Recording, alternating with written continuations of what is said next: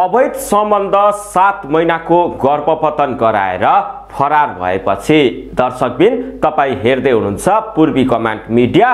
म दिपेन्द्र विश्वकर्मा। झापाको हल्दीबारी गाउँपालिका एक गोलधाप स्थित the Nepal health clinic and diagnostic सेन्टरको शौचालयभित्र गर्भपतन गराएर फरार भएकी महिला पक्राउ परेकी छन्।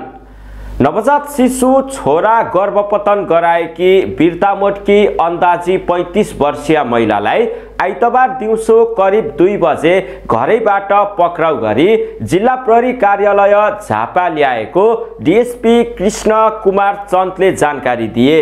विवाहित ती महिलाका श्रीमान भने वैदेशिक रोजगारका लागि साउदी अरबमा रहेको जनाइएको छ।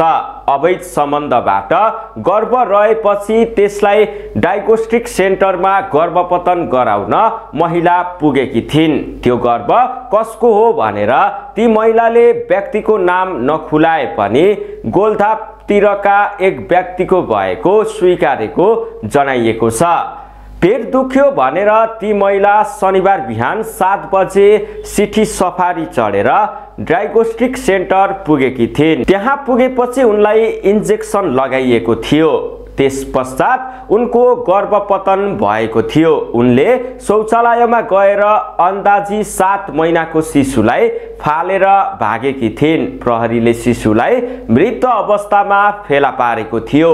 शिशु जीवितै जन्मिए वा मृत अवस्थामा जन्मिएको त्यसबारेमा पनि प्रहरीले अनुसन्धान गरिरहेको डिएसपी चन्दले बताए। ती महिलालाई सिसिटिभी फुटेजका आधारमा पहिचान गरी पक्राउ गरिएको हो।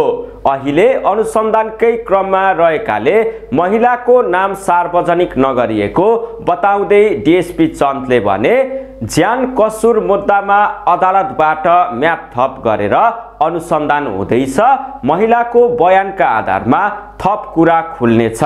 घटनामा अन्य व्यक्तिहरू पनि दोषी भेटिए उनीहरूलाई पनि कानुनी दायरामा ल्याउने उनको भनाइ छ। प्रहरीले गर्भपतन गराउने डायग्नोस्टिक सेन्टरका सञ्चालक सुजन घिमिरेमाथि पनि निगरानी राखेको छ। साथै प्रहरीले यो घटनामा थप अनुसन्धान गरिरहेको छ। यो घटनाको बारेमा तपाईँलाई कस्तो लाग्यो? तपाईँले आफ्नो प्रतिक्रिया कमेन्ट बक्समा छोड्न सक्नुहुन्छ। साथै यो खबर अन्य साथीहरूलाई देखाउनका लागि सेयर गर्न सक्नुहुन्छ।